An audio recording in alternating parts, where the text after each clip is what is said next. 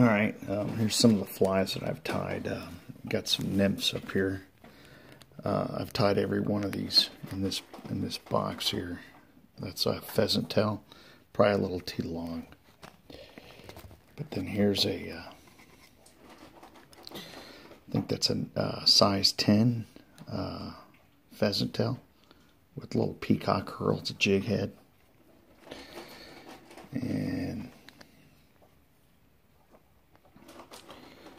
That is a, uh, a dubbing one, and then here's a little midge that I tied. That's like on a size 14. Um, here's another little midge looking fly. I'm gonna have to just put all these in here. And uh, that's an hare's, hare's ear nymph.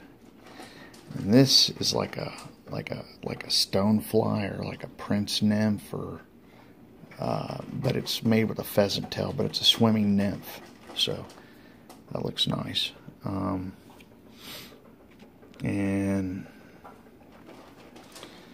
let's see what did I tie tonight?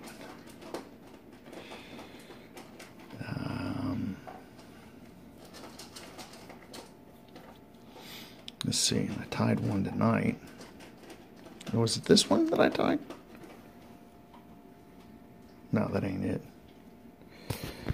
Um, oh, here, here, here's one that I tied tonight.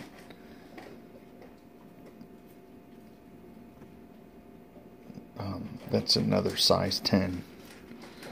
Um, and then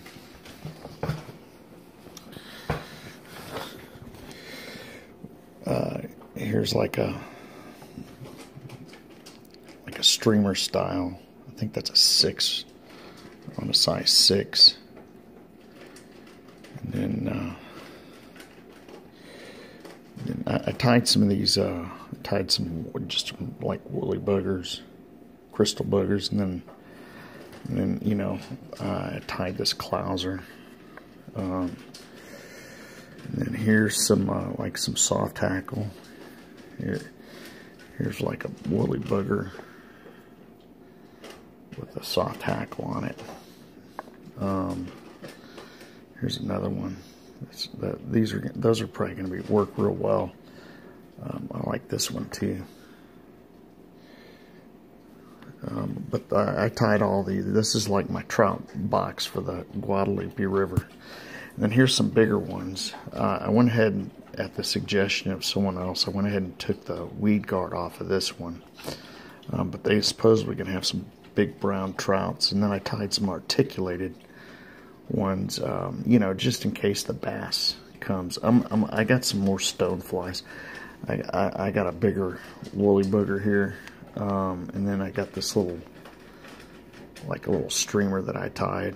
Um, it's kind of a bigger, larger one and you know just a good like a pseudo crawfish clouser type imitation. And uh,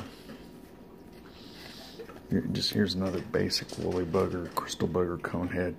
Then I got these articulated uh, streamers here. Uh, those are going to be real nice but you know uh, I got I, I still got some more stuff that I want to put in here. I'm, i might do some dries uh, some dry flies, like in some, uh, I think I got some 16s and 14s, and I got 12s, and I can make some dry flies. But uh, yeah, this, this is just basically all my, uh, you know, I like this one here. It's a nice, you know, it's always good to have those those beadhead crystal buggers. Anything, and they're all pretty much weighted except this this midge that I tied tonight. It's just got the bead head in it, but uh, that's going to be a real small one, and it's going to be a real nice one to throw in there. Um, I really like these. Uh, I got I got some other streamers too, but I think this is going to be a good one for like some hungry brown trout. And then this this will work too for. I already showed y'all that. That's like a crawfish of some sort. Uh, you know, got rubber legs on it and stuff. And these articulated, those are nice. But uh, yeah. All right. Thanks for watching.